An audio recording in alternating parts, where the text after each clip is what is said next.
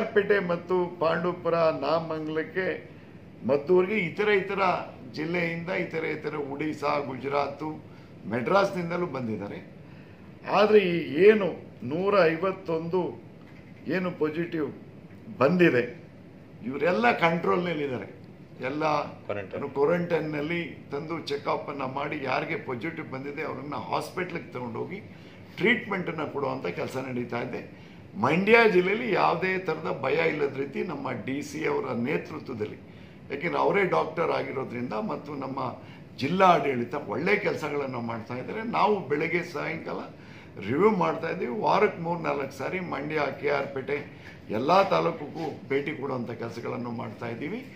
ಯಾವುದೇ ಥರದ ಭಯ ಪಡುವಂಥ ಅಗತ್ಯ ಇಲ್ಲ ಅಂತ ಹೇಳಲಿಕ್ಕೆ ಬಯಸ್ತಾ ಇದ್ದೀನಿ. ಈ ದಿವಸ ಸಂಜೆ ಬುಲೆಟಿನಲ್ಲಿ ಒಂಬತ್ತು ಪ್ರಕರಣಗಳಲ್ಲಿ ಕೋವಿಡ್ ಹತ್ತೊಂಬತ್ತು ಪಾಸಿಟಿವ್ ಎಂದು ದೃಢಪಟ್ಟಿರುತ್ತದೆ.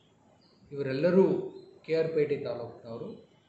ಮುಂಬೈನಲ್ಲಿ ಕಳೆದ ಹಲವಾರು ವರ್ಷಗಳಿಂದ ಅವರು ಹೋಟೆಲ್ನಲ್ಲಿ ಆಟೋ ಡ್ರೈವರ್ ಆಗಿ, ಆ, ಕೆಲಸವನ್ನು ಮಾಡ್ತಾಯಿದ್ದಾರೆ ಕೆಲವರು ವಿದ್ಯಾರ್ಥಿಗಳು ಕೂಡ ಹಾಗೆ ಅಭ್ಯಾಸವನ್ನು ಮಾಡ್ತಾಯಿದ್ದಾರೆ ಇವರ ವಾಸ ಇರುವಂತಹ ಪ್ರದೇಶ ಮುಂಬೈನ ವರೈಲಿ. ಕೆಲವರು ಅಂಧೇರಿ ಮತ್ತು ಕೆಲವರು ಮಾಲ್ ಚೆಂಬೂರು ಅಂತ ಕಡೆ ಕೆಲಸ ಮಾಡ್ತಾ ಇದ್ದಾರೆ. ಈ ಒಂಬತ್ತು ಜನರು ಕೂಡ ದಿನಾಂಕ ಹದಿನಾಲ್ಕನೇ ತಾರೀಕು ಮೇ ತಿಂಗಳು ನಿಪ್ಪಾಣಿ ಚೆಕ್ ಪೋಸ್ಟ್ ಮುಖಾಂತರ ನಮ್ಮ ಕೆ ಆರ್ ಪೇಟೆ ತಾಲೂಕು ಆನೆಗಳ ಚೆಕ್ ಪೋಸ್ಟ್ಗೆ ಬಂದಿರ್ತಾರೆ. ಅವರ ಸ್ವ್ಯಾಬನ್ನು ತೆಗೆದು ಪರೀಕ್ಷೆಗೆ ನಾವು ಕಳಿಸ್ಕೊಟ್ಟಿದ್ದು. ಆ ಪರೀಕ್ಷೆಯ ವರದಿ ಬಂದಿರುತ್ತೆ. ಅವರ ಒಂಬತ್ತು ಜನ ಪಾಸಿಟಿವ್ ಆಗಿರ್ತಾರೆ.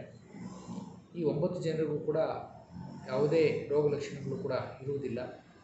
ಇವರನ್ನ ಮಂಡ್ಯ ಮೆಡಿಕಲ್ ಕಾಲೇಜ್ಗೆ ಶಿಫ್ಟ್ ಮಾಡಿ ಚಿಕಿತ್ಸೆಯನ್ನು ನೀಡಲಾಗ್ತಿದೆ.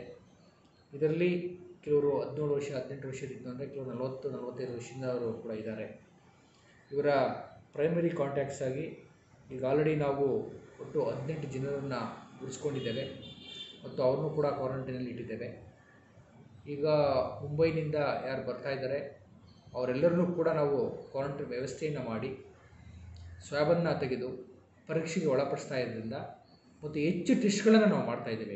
ಇಲ್ಲಿಯವರೆಗೂ ಎಂಟು ಸಾವಿರ ಟೆಸ್ಟನ್ನು ಮಂಡ್ಯ ಜಿಲ್ಲೆಯಲ್ಲಿ ಮಾಡಲಾಗಿದೆ.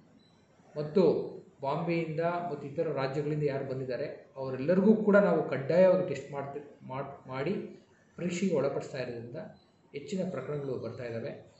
ಸಾರ್ವಜನಿಕರು ಆತಂಕಕ್ಕೆ ಭಯಕ್ಕೆ ಒಳಗಾಗಬಾರ್ದು. ಇವರಿಗೆಲ್ಲರೂ ಕೂಡ ಸೂಕ್ತ ಚಿಕಿತ್ಸೆಯನ್ನು ಕೊಟ್ಟು ಗುಣಪಡಿಸಲು ಜಿಲ್ಲಾಡಳಿತ ಮತ್ತು ಆರೋಗ್ಯ ಇಲಾಖೆ ಎಲ್ಲ ವ್ಯವಸ್ಥೆಯನ್ನು ಕೂಡ ಮಾಡಿಕೊಂಡಿದೆ. ಮತ್ತು ಯಾವುದೇ ಗ್ರಾಮಕ್ಕಾಗಲಿ ಅಥವಾ ವಾರ್ಡ್ಗಾಗಲಿ ಬೇರೆ ರಾಜ್ಯದಿಂದ ಯಾವುದೇ ಒಬ್ಬ ವ್ಯಕ್ತಿ ಬಂತು ಅಂದರೆ, ದಯವಿಟ್ಟು ಸ್ಥಳೀಯ tahsildar, T H O, police ಇಲಾ, ಇಲಾಖೆ ಅಧಿಕಾರಿಗಳನ್ನು ಸಂಪರ್ಕ ಮಾಡಿ ಅವರಿಗೆ ಮಾಹಿತಿಯನ್ನು ಕೊಡಬೇಕು. ಏಕೆಂದರೆ ಅಂತಾರಾಜ್ಯದಿಂದ ಬರೋರ್ನೆಲ್ಲರನ್ನೂ ಕೂಡ ನಮ್ಮ ಬಾರ್ಡ್ರ್ನಲ್ಲಿ ತಡೆ ಹಿಡಿದು ಅವರಿಗೆ ಟೆಸ್ಟನ್ನು ಮಾಡಿ ನಾವು ಅವರಿಗೆ ಹದಿನಾಲ್ಕು ದಿವಸಗಳ ಕಾಲ ಕ್ವಾರಂಟೈನ್ ಮಾಡ್ತಾ ಇದ್ದೇವೆ. ಈ ವ್ಯವಸ್ಥೆಯಿಂದ ಈ ಕೋವಿಡ್ ಹತ್ತೊಂಬತ್ತು ಸೋಂಕನ್ನು ನಾವು ಸಮಾಜಕ್ಕೆ ತಡೆಗಟ್ಟಲು ಅನುಕೂಲ ಆಗುತ್ತೆ. ಸೊ, ಈ ಇನ್ಫೆಕ್ಷನ್ನ ನಿಯಂತ್ರಣ ಮಾಡುವುದೇ ನಮ್ಮ ಪ್ರಮುಖ ಉದ್ದೇಶ ಆಗಿದೆ. ಇದಕ್ಕೆ ಸಾರ್ವಜನಿಕರೆಲ್ಲರೂ ಕೂಡ ಕೈ ಜೋಡಿಸಬೇಕು.